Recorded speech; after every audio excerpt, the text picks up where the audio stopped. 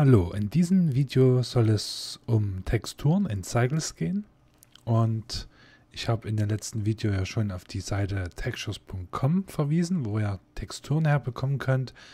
Und ich verlinke euch das nochmal in der Videobeschreibung und Video selber. Und diesmal wollen wir mal sehen, wie wir diese Texturen hier auf 3D-Objekte drauf bekommen. Und dazu nehme ich mal den Würfel und gehe hier drauf, um das zu skalieren. Und das soll jetzt ein Holzbrett werden. Und jetzt gehe ich auf Steuerung A, Apply Scale. Und die Skalierung zurück auf 1 gesetzt wird, angewendet wird. Und jetzt teile ich mal den Bildschirm. Gehe natürlich hier auf Cycles und hier in den gerenderten Zustand. Hier auf diesen Button und dann auswählen. Dann schalte ich mal eine andere Farbe für den Hintergrund ein, so bläulich, für eine Art Himmel. Und die Lampe, gehe ich mal hier an die Lampeneinstellung und mache die mal etwas heller. Gut. Und was ich zuerst mache, ich wickel das Objekt ab. Das heißt, ich berechne die 2D-Koordinaten von diesem 3D-Objekt. Dazu gehe ich in, mit Tab in den Edit-Modus, drücke U und dann Smart UV Project. Okay. Und jetzt habe ich das abgewickelt. Das läuft jetzt im Hintergrund ab. Man sieht jetzt nicht gleich, was damit passiert ist, aber wir werden es gleich sehen. Jetzt gehe ich hier auf den Node Editor und gehe mal hier auf diesen, dieses Objekt, Use Nodes muss ich hier noch umschalten bei mir, weil ich hier die Animation Notes noch aktiviert habe. Und jetzt mache ich folgendes. Ich gehe auf Add, Texture, Image und öffne ein Bild und gehe jetzt auf meinen Texturordner und da habe ich hier die Textures.com und da gehe ich auf Material. Da habe ich jetzt meinen Holzordner. Jetzt kann ich hier draufdrücken und habe jetzt hier verschiedene Holztexturen, die, äh, die ich mir schon runtergeladen habe. Und gehe mal auf alte Bretter und wähle mal hier also eine Textur aus. Und die verbinde ich jetzt hier mit der Color. Und was ich jetzt mache, damit es richtig angezeigt und gemappt wird, das ist noch nicht korrekt, gehe ich jetzt auf Input, Texture Coordinates und ich habe ja die UV-Koordinaten abgewickelt, also nehme ich hier UV und gehe nach auf Vector Mapping. Gut. Und jetzt kann ich diese Textur hier rotieren. Gehen wir mal von der Z-Achse. Die mal 90 Grad ein.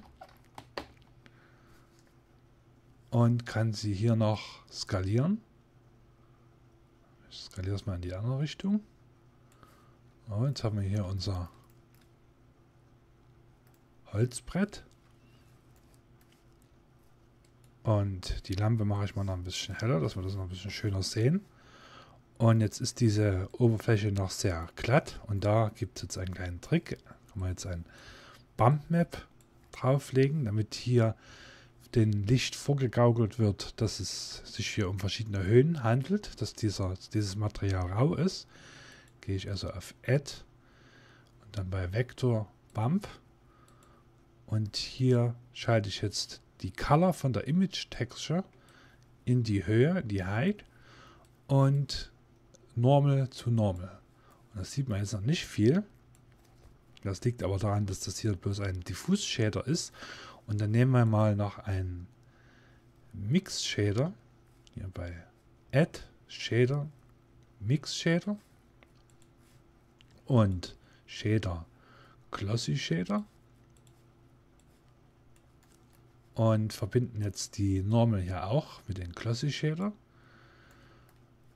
Und die Roughness stellen wir mal ein bisschen runter. Und jetzt ist das, sieht das sehr seltsam aus. Brauchen wir einfach bloß die Color hier in die Color reinzustecken. Und jetzt sieht das schon besser aus. können wir jetzt hier mal unser Licht hin positionieren sehen wir jetzt, dass das hier etwas aufgeraut ist. Dass das hier etwas glänzt. Gut, und was wir jetzt machen, um mal zu das einfach mal zu demonstrieren, ich drücke jetzt RX90 und schiebe das mal etwas nach oben. Dupliziere das mal. Und jetzt nehme ich hier, ich kann das jetzt mal ein bisschen höher machen, das fahren wir jetzt nicht mehr so häufig. Jetzt nehme ich hier ein Array Modifier und schalte hier mal die Abstände etwas größer ein und hier die Count, den, die Anzahl. Und jetzt nehme ich dieses und drücke RY90 und schiebe das mal hier ran. Und das kann ich jetzt auch wieder skalieren.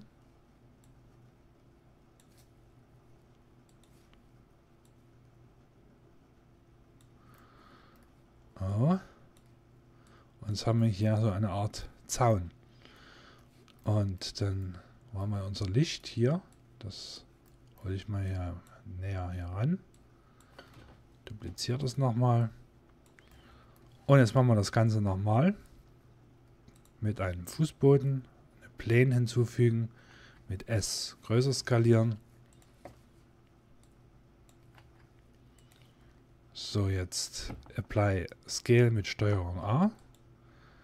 In den Tabulator-Modus U und dann Unwrap, nicht Smart UV Projekt, sondern Unwrap einfach, weil das nur eine gerade Fläche ist. Und jetzt gehen wir auf ein Material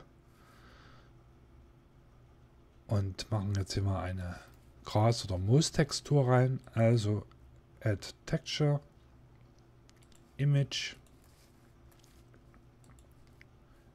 Input Texture Coordinates, UV,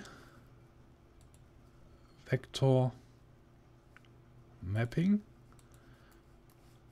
und jetzt öffne ich hier wieder eine Bildtextur.